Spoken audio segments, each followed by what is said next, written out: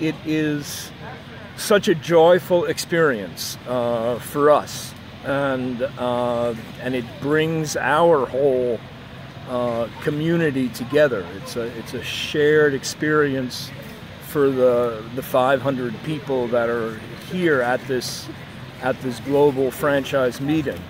Uh, so it it just it just makes people feel good. They're really and they're they're physically active, and uh, they, you know it's a lot of hard work, but they look forward to it.